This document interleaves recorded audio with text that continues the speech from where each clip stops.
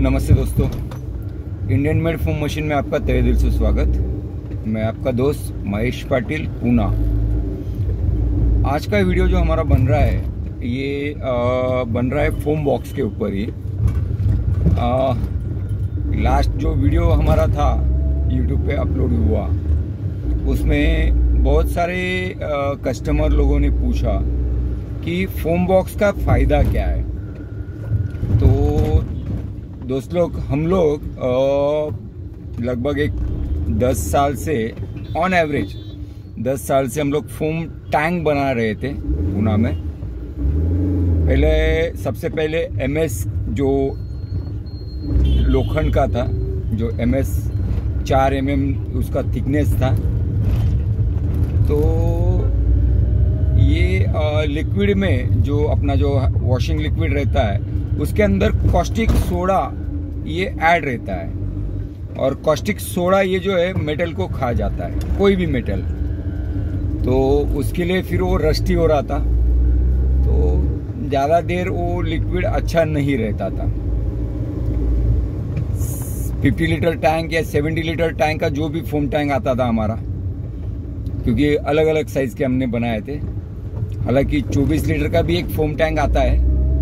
Company का नाम है इद्रोबेस तो ये रस्टी होने के कारण वो लिक्विड थोड़ा सा खराब हो रहा था और टैंक भी डैमेज हो रहा था। क्योंकि हमने जब स्टार्ट किया था तो लगभग एक आठ साल उसका, सात से आठ साल उसका लाइफ हमें मिला है फोम टैंक का। फिर उसके ऊपर सॉल्यूशन चाहिए, इसीलिए हमने स्टेनलेस स्टील फोम टैंक जो 2.5 पॉइंट mm थिकनेस वाला शेल का साइज़ था 3 mm और प्लेट का साइज़ था ढाई एम mm क्योंकि स्टील थोड़ा सा हेवी रिजिड क्वालिटी का रहता है, इसीलिए उसका थिकनेस जो है वो कम कर सकते हैं। तो वो भी मार्केट में लाए थे। लेकिन आज के ज़माने में अभी स्टेनलेस स्टील का जो रेट है, वो हायर जा रहा है। 70 लीटर का फोम टैंक हम लोग 35,000 में बेचे हैं। तो वॉशिंग सेंटर में 35,000 का इन्वेस्टमेंट फोम टैंक के ऊपर थोड़ा सा लोगों को ये हो रहा था हेवी हो रहा था। तो उसके बाद में हमने वापस चाइना फोम टैंक जो है वो मॉडिफाइड करके देने की चालू किया। इसमें हम लोग टैंक हम लोग मैन्युफैक्चरिंग नहीं कर रहे थे। और हर वीडियो में हमने वो चाइना फोम टैंक का जो भी वीडियो बना है हमारा, उसमें हमने क्लियर बोला था सभी लोगों को, एकदम ओपनली कि फोम टैंक का कोई भी गारंटी नहीं रहेगा। ओनली टैंक का। वारंटी गारंटी कोई नहीं रहेगा। क्योंकि टैंक हम लोग बना नहीं रहे, और लोगों को सस्ता चाहिए था। तो उसके लिए हमने विथ ट्रिगर गन जो लगभग बीस हज़ार में कोई बेचे हमने, उन्नीस पाँच सौ, बीस हज़ार, ये रेंज में गए तो उसमें भी थोड़ा से खामियाँ आने लगी, क्योंकि फोम टैंक जो है, उसका थिकनेस जो था वो कम था। 1.5 ऐसा उसका थिकनेस था।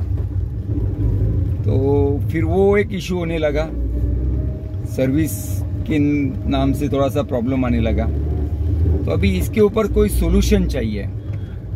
तो ऐसे ही करते करते हमने इसके ऊपर पहला ट्रायल लिया इलेक्ट्रिकल इलेक्ट्रिकल और न्यूमेटिक तो हमारा वो इलेक्ट्रिक ऑपरेटेड और न्यूमेटिक ऑपरेटेड फोम बॉक्स जिसके लिए आ, कोई टांकी जो है स्टेनलेस स्टील का टांकी की ज़रूरत नहीं है। आप कोई भी प्लास्टिक बकेट या बैरल कोई भी आप इसमें वो लिक्विड डाल के फोमिंग कर सकते हैं। अभी ये, इसका फ़ायदा क्या है?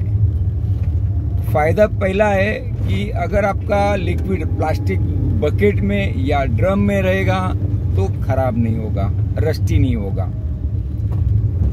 उसके बाद में आप, आपको जितना चाहिए क्वांटिटी आपको अगर 10 लीटर का बनाना है तो आप 10 लीटर का बैरल उसमें रख सकते हो। इसमें कोई लिमिट नहीं है। मिनिमम और मैक्सिमम ऐसा कोई लिमिट नहीं है कि आप 20 लीटर भी रख सकते, पाँच लीटर भी रख सकते आपके हिसाब से।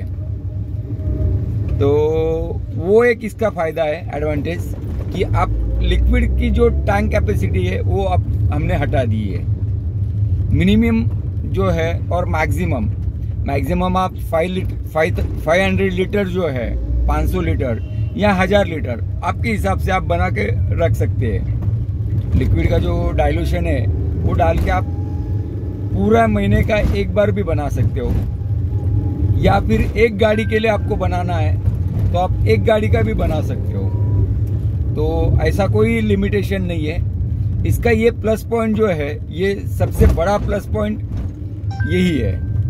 उसके बाद में ये आ, आप दीवार पे कहीं पे भी लगा सकते हो और एयर कनेक्शन देके आपका फोमिंग चालू कर सकते हो। इसका ट्रॉली माउंटेड जो वर्जन है, वो भी आएगा। सिर्फ़ फैब्रिकेशन अगर करने जा रहे हैं हम लोग तो उसका कॉस्ट बढ़ रहा है। तो यही एक, ये फोम बॉक्स लाने की हमारी जो कोशिश थी रीज़न था कि फोम बॉक्स क्यों लाना है? तो ये ही इसका सोल्यूशन है कि अगर टैंक आपका रस्टी हो रहा है टैंक आपके लीकेज हो रहे हैं, क्योंकि वॉशिंग सेंटर में टैंक जो है वो मूविंग रहता है। तो उसमें डैमेजेस के चांसेस बहुत सारे होते हैं। और वॉशिंग सेंटर के जो वर्कर है, ये कोई स्किल वर्कर नहीं रहता है। उसको सिर्फ़ वो गाड़ी धोना, उसमें भी थोड़ा सा स्किल है, ऐसा नहीं मैं बोल रहा हूँ, किसी का बुराई नहीं कर रहा हूँ, लेकिन वो इतना प्रॉपर ये नहीं रहता है कि ये मशीन है, इसको इतना संभालना है, कुछ नहीं। उसको गन ट्रिगर मारना है और रख देना है। और रखते टाइम में वो गिर गया तो भी उसको कोई ये नहीं होता है। क्योंकि हमने बहुत सारे वॉशिंग सेंटर पे ऐसा देखा है कि वॉशिंग किया तो गन ऐसा पटक देते हैं। तो उससे से भी डैमेज होता है।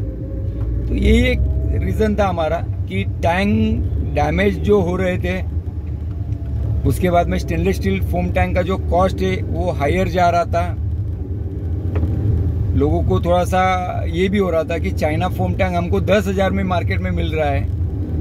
तो आपका इतना महँगा क्यों जा रहा है? लेकिन लोग क्वालिटी नहीं देखते क्योंकि मैं बहुत सारे इसमें आ, मेरा वीडियो में एक ही है। बहुत सारे लोगों ने इसका मज़ाक भी उड़ाया है कि सस्ता रोए बार बार महँगा रोए एक बार। तो इसके बाबत में लोगों ने कमेंट भी, भी बहुत बुरे बुरे किए थे। सो so, ये तो एक जनरल चैनल है अपना। तो उसमें लोग कमेंटमेंट तो करेंगे अच्छे करेंगे या बुरे करेंगे। हमारा काम है हम लोग आपको सर्विस देने की कोशिश करें और अच्छा प्रोडक्ट देने की कोशिश करें। इसमें हम लोग ऐसा नहीं बोल रहे कि हम लोग 100 परसेंट परफेक्ट है। नहीं। इसमें थोड़ा पर हमारा भी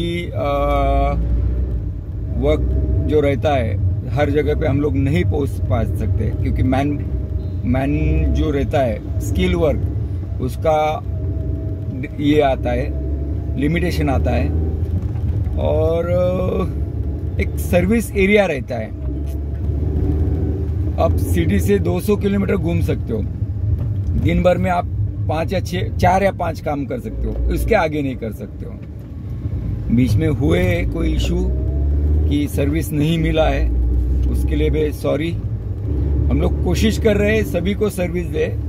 हाँ एक आध दिन इधर उधर हो जाता है। आदमी हूँ, मशीन नहीं हूँ। हाँ मशीन बनाया हुआ है तो वो हिसाब से है।